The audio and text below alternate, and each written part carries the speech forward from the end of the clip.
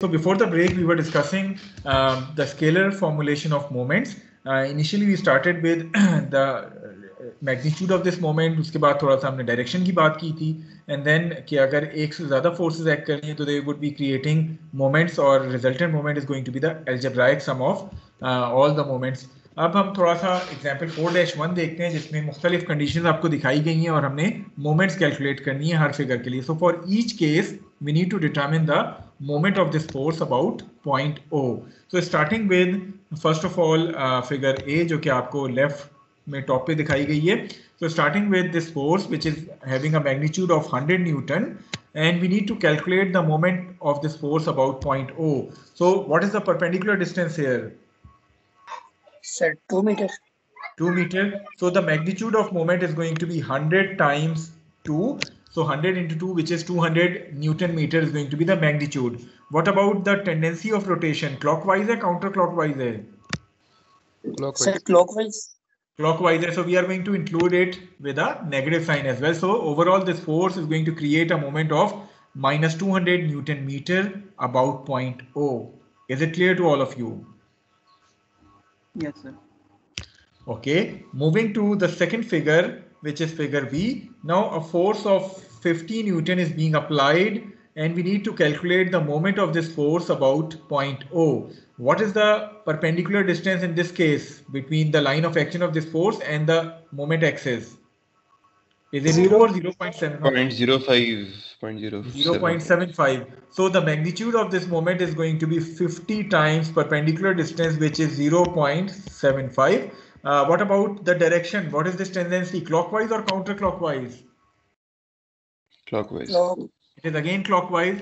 So we are going to include it with a negative sign. So the overall moment caused by this force is going to be minus 50 into 0.75 Newton meter.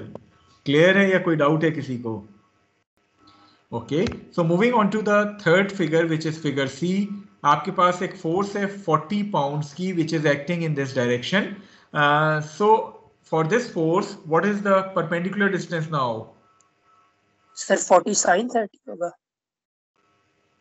no uh, i am asking about the perpendicular distance between the line of action of this force and point o basically वो यहाँ से लेके यहाँ तक four given है यहाँ से लेके यहाँ तक टू कॉस थर्टी गिवन है so 4 plus 2 cos 30 is going to be the perpendicular distance isn't it yes yes sir so the moment would have a magnitude of 40 times 4 plus 2 cos of 30 जहाँ तक ताल्लुक इसके direction का है so what is this tendency of rotation is it clockwise or counterclockwise clockwise clockwise so we are going to add a negative sign here as well so overall the moment would be minus 40 into 4 plus 2 cos 30 uh, negative sign हमने क्यों शामिल किया because the tendency of rotation is in a clockwise direction और जो convention हम इस्तेमाल करते हैं वो counter clockwise moments are taken as positive whereas clockwise moments are taken as negative clear है yes okay so moving on to the fourth figure in which a force of 60 pounds is being applied at the end of this rod. Uh, what is the perpendicular distance now? It is basically this distance, isn't it? So ये कितना है? Sir, one, one sine 45. 45. So it is basically one sine 45. So the moment is going to be 60 times one sine 45. ये उसका magnitude आ गया है. जहाँ तक ताल्लुक इसके direction का है So what is this tendency of rotation? Clockwise or counterclockwise? Counterclockwise. Counterclockwise. So आप इसको positive moment के तौर पे जो है वो represent करते हैं.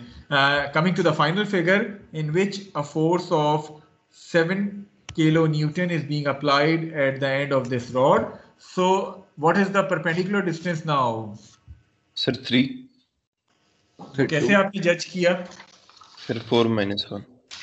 जी ओवरऑल इसकी लेंथ जो है वो आपके पास फोर है ओवरऑल लेंथ आपके पास फोर है और जो ऊपर छोटा पोर्शन है वो आपके पास वन दिया हुआ है सो आपने जो है वो फोर में से थ्री माइनस कर दिया तो आपको जो है वो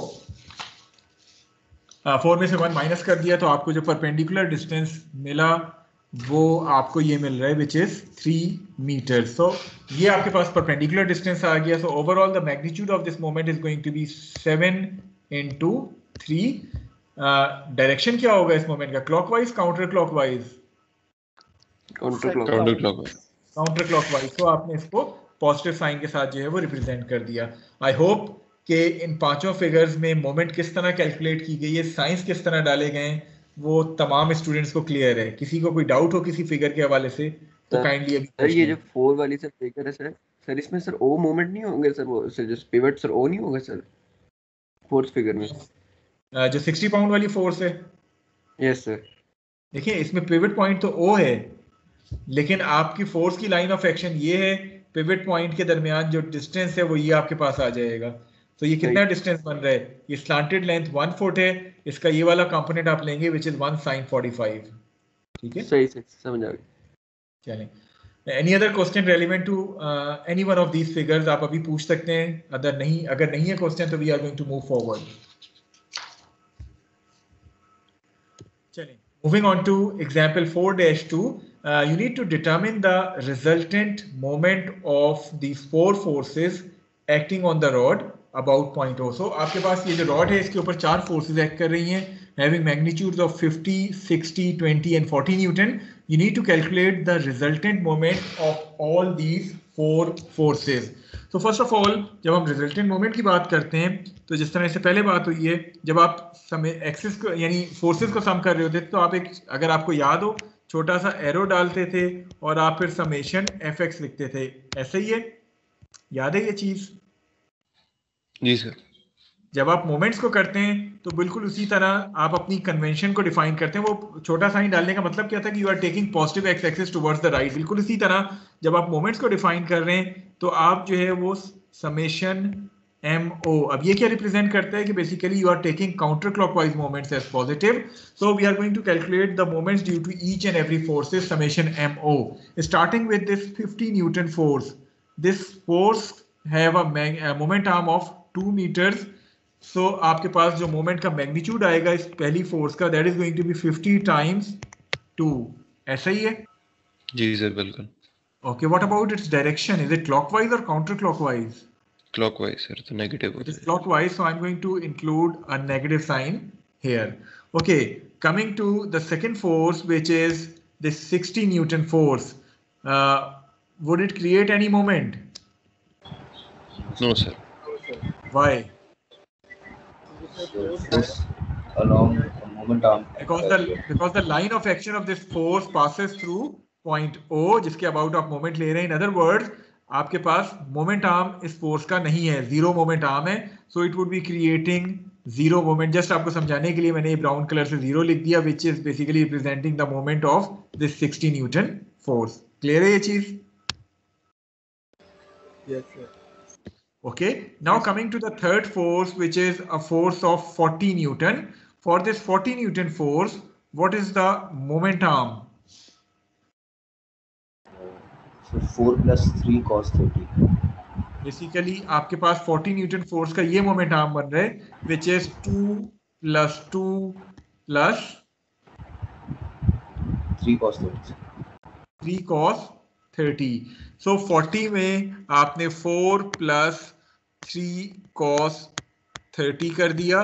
As far as the direction of this moment is concern ये कौन सा डायरेक्शन बन रहा है? क्लॉकवाइज और counter clockwise anti clockwise it is clockwise direction ma'am तो आप इसको भी नेगेटिव साइन के साथ जो है वो रिप्रेजेंट कर देंगे. Now coming to the final force which is this 20 newton force so 20 newton force की अगर हम बात करें तो मोमेंट आर्म इसका क्या बन रहा है? 3 3 sin 30 थ्री साइन थर्टी तो आपके पास twenty into three sine of thirty का uh, जो है वो मोमेंट का मैग्नीट्यूड आ गया। जहाँ तक ताल्लुक डायरेक्शन का है तो what is this direction clockwise counter clockwise counter clockwise So counterclockwise. So the resultant moment is going to be the algebraic sum of all these four moments. So आपने इनको इनके साइंस के साथ मेंशन कर दिया. Once you take uh, the algebraic sum of these four moments, you are going to get the resultant moment, which comes out to be minus 334 newton meter what does this negative sign represent Clockwise clockwise है this negative sign represents के resultant moment is going to be in a clockwise direction तो आपने उसको represent करने के लिए ये curl जो है वो show कर दिया which represents के moment आपके पास resultant जो है वो clockwise direction में आ रहा है is this example clear to all of you किसी का कोई doubt कोई query हो kindly अभी पूछ लें no question now कोई कोई query नहीं है सबको समझ आ गया सर ये ज़ीरो ज़ीरो क्यों लिखा है सर देखिए ज़ीरो इसलिए लिखे हैं zero represents the moment due to this brown colour force जो कि 60 न्यूटन वाली है। ये फोर्स की line of action is passing through the moment axis जो ओ की एक्सेस है उसमें से पास हो रही है। तो once the force is passing through that point जिसके अबाउट आप मोमेंट ले रहे हैं तो चूँकि परपेंडिकुलर डिस्टेंस ज़ीरो होता है तो आपके पास मोमेंट भी इस फोर्स की वजह से ज़ीरो आएगा। इसलिए मैंने यहाँ इसको ज़ीरो मेंशन किया। अदरवाइज़ मैं इसको चाहता तो बेसिकली 60 टाइम्स ज़ीरो के तौर पे मेंशन कर देता वो ज़्यादा बेहतर होता। ठीक है? यस सर मेरा क्वेश्चन है सर जी पूछें। सर ये जो हमने थर्ड मोमेंट लिखी है सर इसमें हमने क्यों नहीं लिखा? Three cos thirty third moment जो 40 न्यूटन फोर्स की है। नहीं सर ट्वेंटी देखें 20 न्यूटन फोर्स आपके पास जो अप्लाई हो रही है पॉइंट ओ से इसका परपेंडिकुलर डिस्टेंस कितना है? It is this distance perpendicular distance होता क्या है? जो फोर्स और uh, जिस पॉइंट के अबाउट ले रहे हैं उन दोनों के दरमियान परपेंडिकुलर डिस्टेंस बनता है। तो परपेंडिकुलर डिस्टेंस तो आपको ये बनेगा ना ये जो मैं ब्राउन से शो कर रहा हूँ। तो ये आपके पास थ्री साइन थर्टी बनता है। ठीक है एनी अदर क्वेश्चन जो कि कोई पूछना चाहे? सो आई होप कि स्केलर फॉर्मुलेशन और रिजल्टेंट मोमेंट हर को क्लियर है टू डायमेंशन में। चलें मूविंग फॉरवर्ड थोड़ा सा हम बात करते हैं वेक्टर फॉर्मुलेशन की but before moving on to vector formulation first of all we need to understand what is a cross product अगर आपको याद हो, when we are discussing the last topic of chapter number two which was dot product उस वक्त हमने just एक brief discussion किया था कि दो वेक्टर्स का जब भी आप प्रोडक्ट लेते हैं तो दो तरह के प्रोडक्ट्स उनमें पॉसिबल हैं। One is the dot product जिसको हम स्केलर प्रोडक्ट कहते हैं। The other one is the cross product जिसको वेक्टर प्रोडक्ट भी कहा जाता है। डॉट uh, प्रोडक्ट को हम स्केलर प्रोडक्ट क्यों कहते हैं? Because by taking the dot product of two vectors we are going to get a scalar quantity however once you are taking the cross product of two vectors you are going to get another vector quantity इसी वजह से cross product को vector product जो है वो कहा जाता है अब ये क्रॉस प्रोडक्ट होता क्या है ऑल्दो आपने मैट्रिक एफएससी में किया होगा हम थोड़ा सा क्विकली इसको रिव्यू कर लेते हैं Uh, the cross product of two vectors a and b yields another vector c which is written as vector c equal to vector a cross b and read c equals a cross b now since uh, c is a vector quantity so by the definition of a vector, it should have magnitude as well as direction. As far as the magnitude of this vector c is concerned, it is defined as the product of magnitudes of a and b vector as well as the sine of the angle theta between their tails. That is, the magnitude of c would be equal to ab sine of theta. Uh, do you remember the magnitude of uh, dot product? Dot product का magnitude क्या होता था जो chapter 2 में हमने पढ़ा था? Sir, A dot B cos theta. AB cos theta. However, the magnitude of the cross product is going to be AB sin of theta. तो जब जब आपसे कहा जाए कि दो वेक्टर्स आपस में उनका क्रॉस प्रोडक्ट लेना है the magnitude of that cross product would be equal to the magnitude of A multiply by magnitude of B and sine of the angle theta between their tails so आपको यहाँ दिखाया भी गया है कि अगर आपके पास वेक्टर ए है और वेक्टर बी ये दो वेक्टर्स हैं इनकी टेल्स के दरमियान एंगल थीटा बन रहा है so as per our discussion the magnitude of C would be equal to magnitude of A into B into sine of theta which is the angle between the tails of these two vectors clear है यहाँ तक magnitude का हर एक को Okay, coming to the direction of this cross product. Now vector C has a direction that is perpendicular to the plane containing A and B such that C is specified by the right hand rule जब हम direction की बात करते हैं तो this vector C would have direction which is perpendicular to the plane containing those two vectors A and B and its direction is going to be found using the same right hand rule जो कि हमने पिछली slides में discuss किया है। वो right hand rule क्या कहते हैं? कि once you are curling your fingers in the direction from A toward B यानी आप cross product A cross B ले रहे हैं ना तो ए से बी के डायरेक्शन में जब आप कर्ल करेंगे तो आपका जो थम है that is going to point out in the direction of this vector C so vector C है direction that is perpendicular to the plane containing A and B such that C is specified by the right hand rule that is curling the fingers of this right hand from A to vector B the thumb points out in the direction of C. So knowing uh, both the magnitude and direction of C, now we can write this C vector as AB sine theta जो कि उसके magnitude को represent रहे हैं and UC basically represents the direction of this C. Uh, अगर मैं आपसे कहूँ कि आपके पास ये जो A और B vector हैं they are lying within the XY plane so आपके पास ये XY प्लेन है जिसमें ये दो vectors lie करते हैं. So what should be the direction of C now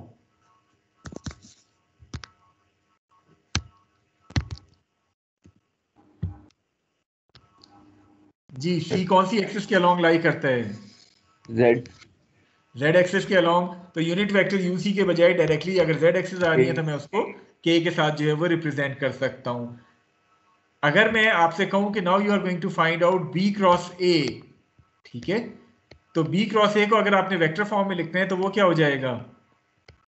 B A sine theta तो उसका मैग्नीट्यूड हो गया। डायरेक्शन क्या होगा बी क्रॉस ए का?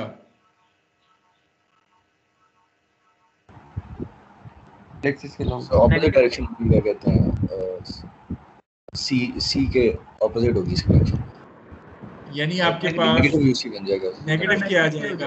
Isn't it right hand rule use करें ना। माइनस माइनस के जी बी से ए की तरफ़ फिंगर्स कर्ल करें तो the thumb is pointing towards the negative z axis so आप यूनिट वेक्टर माइनस के के साथ इस डायरेक्शन को रिप्रेजेंट करेंगे। सो ओवरऑल बी क्रॉस है आपके पास minus B A sine of theta आ जाएगा। अब मुझे एक बात बताएँ क्या ये दोनों एक दूसरे के बराबर हैं? फ़र्क कहाँ आ रहा है? एक नेगेटिव साइन का फ़र्क आ रहा है isn't it so does this cross product follows commutative law No, sir. No sir because a cross b is not equal to b cross a. Rather a cross b किसके बराबर है? Minus B cross. Minus B cross A so आपके पास जो commutative law है it is not being followed by this cross product because अभी हमने देखा है ए क्रॉस बी जो है वो बी क्रॉस ए के बराबर नहीं है. रादर आपके पास ए क्रॉस बी जो है वो माइनस बी क्रॉस ए के बराबर आता है. uh, अगर हम एसोसिएटिव लॉ की बात करें तो this cross product follows this associative law as well as the distributive law तो डॉट प्रोडक्ट हमारा तीनों लॉज को फॉलो करता है commutative law associative law and distributive law however जो क्रॉस प्रोडक्ट है वो हमारा कम्यूटेटिव लॉ फॉलो नहीं करता एसोसिएटिव और डिस्ट्रीब्यूटिव लॉ को जो है वो फॉलो करता है. Is it clear to all of you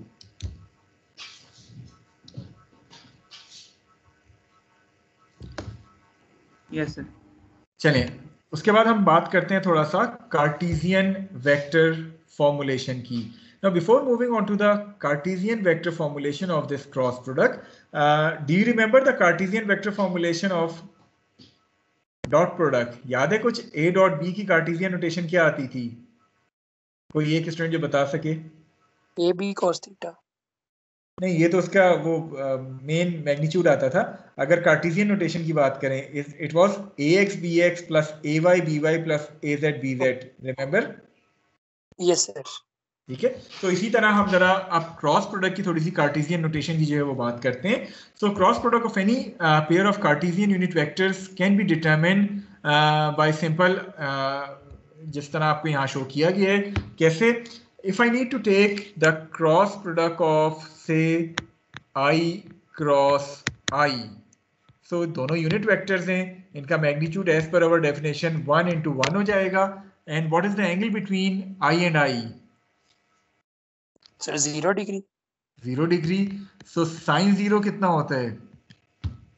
zero होता है सर ज़ीरो होता है. इट मींस के जब जब हम I dot I cross I या जे क्रॉस जे या के क्रॉस के यानी सिमिलर यूनिट वेक्टर्स की बात कर रहे होंगे तो their cross product is going to be zero ये पॉइंट क्लियर है हर एक को इसके मुकाबले में अगर मैं कहूँ आई क्रॉस आई के बजाय मैं आई डॉट आई कर रहा होता तो फिर क्या मिलना था मुझे? Sir, one.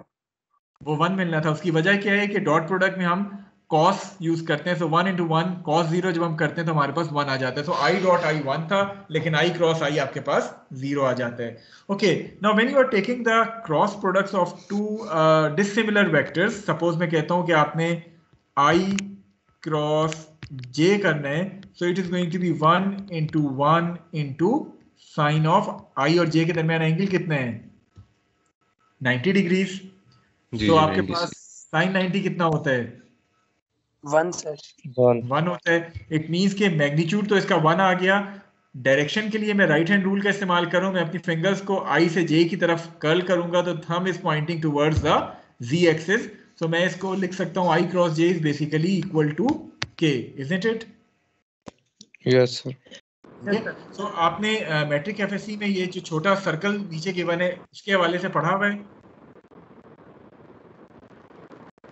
सर ये थोड़ा सा इसको एक्सप्लेन कर देता हूँ डिफाइन क्या कर रहे हैं सर्कल कि once you are taking the cross product of vectors in a counter clockwise direction यानी आप आई क्रॉस जे जब कर रहे हैं काउंटर क्लॉकवाइज डायरेक्शन में you are going to get the third unit vector with a positive thing so i cross j is basically equal to k j cross k is basically equal to i k cross i is basically equal to j similarly, once you are moving along this circle in a clockwise direction मतलब मैं आपसे कहता हूँ कि आप आई cross के कर रहे हैं सो so आपको तीसरा वेक्टर मिलेगा with a negative quantity so i cross k is minus j k cross j is minus i j cross i is minus k तो जब जब आपको इन यूनिट वेक्टर्स का क्रॉस प्रोडक्ट लेना हो, जो कि आपको लेना पड़ेगा when you are dealing with three dimensions तो आप जो है वो इस स्मॉलर सर्कल का इस्तेमाल कर रहे होंगे that is i cross j k के बराबर आएगा, क्योंकि आप काउंटर क्लॉकवाइज डायरेक्शन में चल रहे हैं। जे क्रॉस के आपको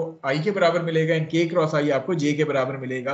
अगर आप क्लॉकवाइज डायरेक्शन में कोई दो यूनिट वेक्टर्स को मल्टीप्लाई कर रहे हैं मसलन आई क्रॉस के वो आपको तीसरा वेक्टर मिलेगा with a negative sign so i cross k is minus j k cross j is minus i j cross i is minus k is this point clear to all of you yes sir ठीक है all the matric FSc में आपने पढ़ा हुआ है लेकिन just quickly हमने इसको रिव्यू कर लिया कि यूनिट वेक्टर्स का क्रॉस प्रोडक्ट आप कैसे लेते हैं so crossing these unit vectors in a counter clockwise fashion around the circle yields positive third unit vector however crossing these unit vectors in a clockwise fashion around this circle would yield a negative आधा unit घंटा बाद की और कोई sorry uh, would yield a negative third unit vector ठीक है so now coming to the cross product of two general vectors a and b i have written these vectors uh, both of them in terms of their cartesian notation axi plus ayj plus azk cross bxi plus byj plus bzk अब cross product में क्या करेंगे कि एक एक term को आप multiply करते चले जाएँगे पहले पहली टर्म को ए की इसके साथ उसी तरह फिर आपने इसके साथ मल्टीप्लाई किया, फिर आपने इसके साथ किया क्रॉस प्रोडक्ट एक एक करके आप क्रॉस प्रोडक्ट लेते चले जाएँगे। जिस तरह इससे पिछली साइड में बात हुई है, जहाँ जहाँ सिमिलर वेक्टर्स का क्रॉस प्रोडक्ट आ रहा है they are going to be equal to zero so जहाँ जहाँ आई क्रॉस आई जे क्रॉस जे या के क्रॉस के आ रहे that is going to be equal to zero इसके मुकाबले में जहाँ डिसिमिलर यूनिट वेक्टर्स आ रहे हैं, उनको आप ये इस पर्टिकुलर तरीके से जो है वो क्रॉस प्रोडक्ट ले रहे होंगे। So finally the cross product would become this vector A Y B aybz minus azbyi similarly something j or similarly something k now it is difficult to remember this particular notation rather cross product को जब आप find कर रहे होते हैं तो there is a much easier method of finding the cross product that is by using this determinant ये determinant वाला आइडिया है हर एक को मैट्रिक एफएससी में आपने पढ़ा हुआ है ये यस सर यस सर इसको हम थोड़ा सा रिवाइज कर देते हैं क्योंकि बजाय इसको कि इस चीज़ को मैं याद रखूँ मेरे लिए बेहतर क्या है कि जब जब मुझे दो वेक्टर्स का क्रॉस प्रोडक्ट लेना हो तो मैं ये डिटर्मिनेंट वाला तरीका इस्तेमाल कर लूँ it is much easier to remember ये डिटर्मिनेंट वाला तरीका है क्या कि once you are taking the cross product of two vectors A and B then उसका क्रॉस प्रोडक्ट हम इस डिटर्मिनेंट की मदद से निकाल सकते हैं जिसमें the first row of this determinant represents the unit vectors I J and K the second row represents the components of the first vector जो कि आपका यहाँ a है उसका तीनों components ax, ay और az आ जाएँगे second row represents the components uh, sorry the third row represents the components of vector b जो सेकंड वेक्टर है आपका B X B Y B Z इसी तरह अगर आप बी क्रॉस ए ले रहे होते तो यहाँ आपके पास बी आ जाता और यहाँ आपके पास ए आ जाता तो इस तरह आप डिटर्मिनेंट की मदद से ये क्रॉस प्रोडक्ट जो है वो ले सकते हैं। अब ये डिटर्मिनेंट की मदद से क्रॉस प्रोडक्ट लेते किस तरह है? जब आप इस डिटर्मिनेंट को एक्सपेंड करेंगे तो what you are going to get मैं इसको यहाँ लिख रहा हूँ। काइंडली मुझे बता सकते हैं once you are expanding this determinant what you are going to get suppose I say हम स्टार्ट करें। तो जब आप आई से स्टार्ट कर रहे हैं तो आपने आई वाली रो और कॉलम को जी, आई वाली रो और कॉलम को जो है वो डिलीट कर दिया थोड़ा सा गौर से देख लें रिवीजन हो जाएगी आपकी।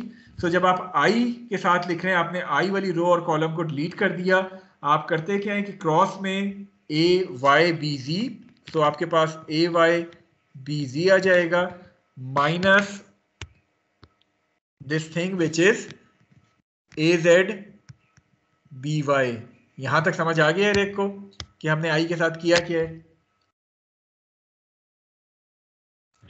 Yes sir okay second step में हम क्या करते हैं? जब हमने जे को करना है तो जे वाली रो को हम और कॉलम को जो है वो कट कर देते हैं। लेकिन जे लिखते हुए सेकेंड टर्म है तो हम माइनस का साइन ऐड करते हैं। सो माइनस जे अब उसी तरह ये terms minus this term so A X B Z minus A Z B X इसी तरह जब हम थर्ड कर रहे हैं तो आपने किया क्या? थर्ड में आपने के वाली रो और कॉलम को जो है एलिमिनेट कर दिया।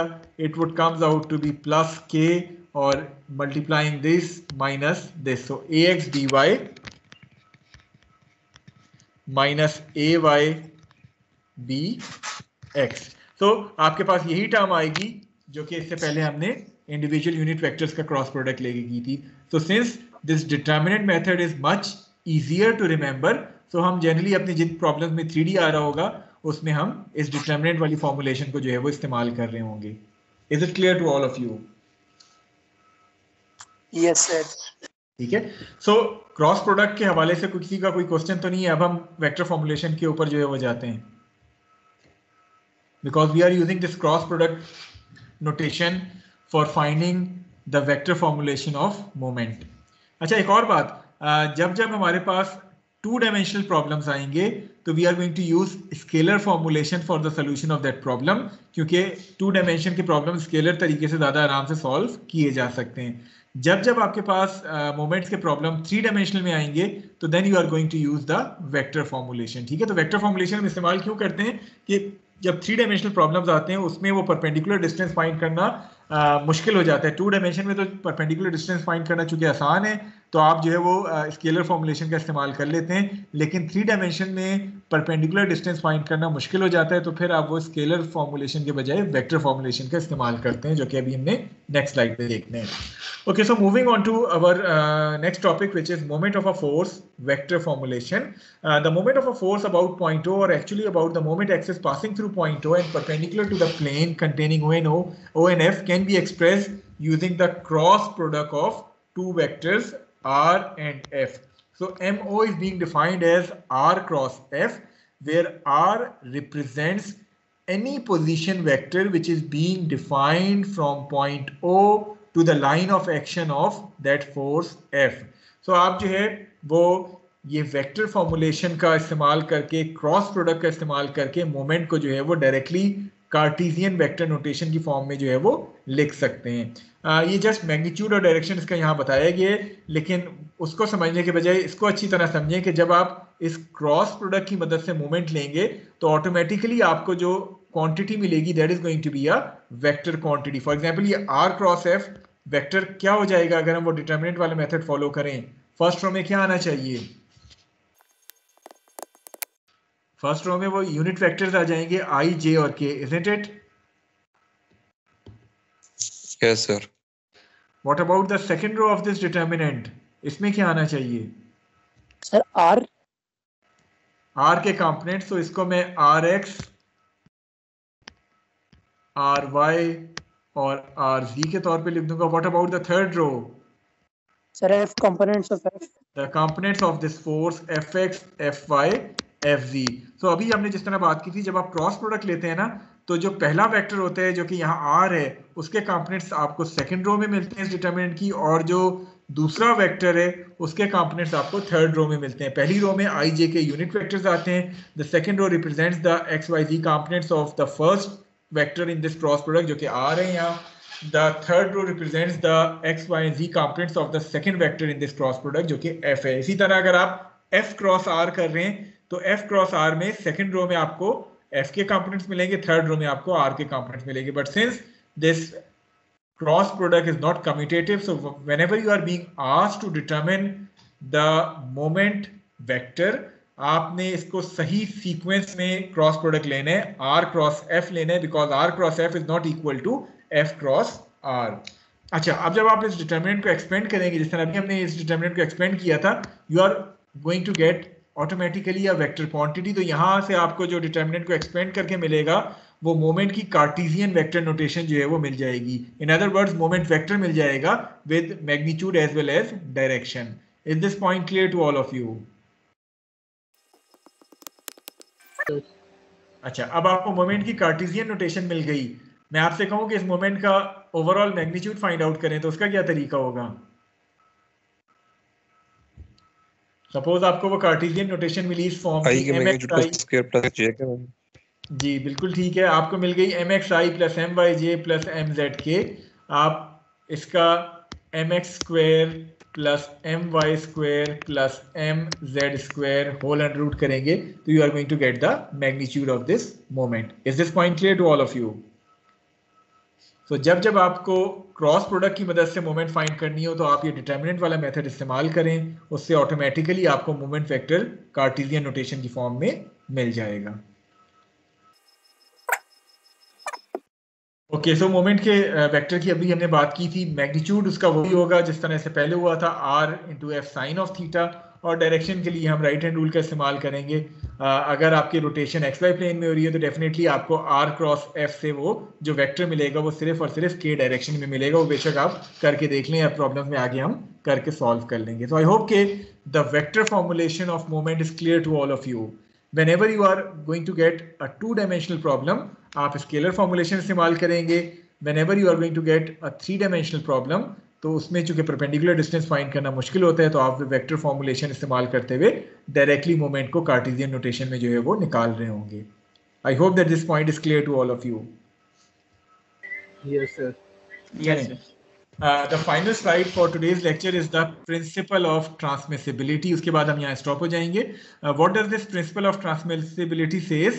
Uh, principle of transmissibility कहता है कि the, आप जब क्रॉस प्रोडक्ट ले रहे हैं मोमेंट फाइंड करने के लिए आर क्रॉस f तो उसमें आर uh, क्या होता है? कोई मुझे बता सकता है what is this r? Moment arm. Moment arm चलो टू में हम कर रहे हो तो मोमेंट आर्म कहते हैं। जब हम थ्री में कर रहे हो तो basically it is a position vector which is being defined to be starting from point O जिसके अबाउट ऑफ़ मोमेंट ले रहे हैं to the line of action of that force ठीक है? R is basically a position vector which is being defined to be originating from point O and ending along the line of action of that force अब थोड़ा सा गौर से figure को देखें। आपके पास ये फोर्स एफ़ है। इसकी मोमेंट आपने कैलकुलेट करनी है अबाउट पॉइंट ओ सो आप कोई सा भी एक पोजीशन वेक्टर डिफाइन कर सकते हैं starting from O to the line of action of this force so आप आर वन क्रॉस एफ़ भी ले सकते हैं। आप चाहें तो आर टू क्रॉस एफ़ ले लें। आप चाहें आर थ्री क्रॉस एफ़ ले लें आर फोर क्रॉस एफ़ ले लें, या आप चाहें तो आर फाइव क्रॉस एफ़ ले सकते हैं। So any vector can be taken any position vector which is being starting from point O along the line of action of that force उसको आप ये आर की फॉर्म में ले सकते हैं। You are going to get the same amount of moment so R one cross F should be equal to R two cross F should be equal to r3 cross f and so on. So, force की line of action के along, आप कोई भी एक position vector define कर सकते हैं from point O it will give you the same amount of moment M O now this particular property is termed as the principle of transmissibility of a force ये principle of transmissibility क्या कहता है? कि ज़रूरी नहीं है कि आप फोर्स का ही एंड पॉइंट या स्टार्ट पॉइंट लें। आप फोर्स की लाइन ऑफ़ एक्शन के अलोंग कोई सा भी एक पॉइंट लेके पोजीशन वेक्टर डिफाइन कर सकते हैं और आर क्रॉस एफ़ की मदद से फिर आप ये फाइंड कर सकेंगे। ये प्रिंसिपल ऑफ़ ट्रांसमिलिटी किस लिहाज से इंपॉर्टेंट है कि आगे आप प्रॉब्लम्स देखेंगे। आपके लिए हो सकते हैं कोऑर्डिनेट्स फाइंड करना, उस फोर्स के स्टार्ट या एंड पॉइंट में मुश्किल हो, लेकिन फोर्स की लाइन ऑफ़ एक्शन आपको नोन हो, उस हवाले से कोई एक कन्वीनियंट पॉइंट आप लेके ये पोजीशन वेक्टर डिफाइन कर दें और आर क्रॉस एफ़ आप करके मोमेंट जो है वो डिटरमिन कर सकते हैं। Is this principle of transmissibility clear to all of you ये हम अप्लाई भी करेंगे जब हम नेक्स्ट लेक्चर में कुछ एक दो प्रॉब्लम सॉल्व करेंगे। मुख्तलिफ़ पोजीशन वेक्टर्स को यूज़ करके हम देखेंगे कि मोमेंट्स हमें सेम मिल रहा होता है। Is this point clear to all of you अच्छा सर एक चीज़ पूछनी थी सर जो एरो हेड होता है सर वो towards the line of action of force होगा ना?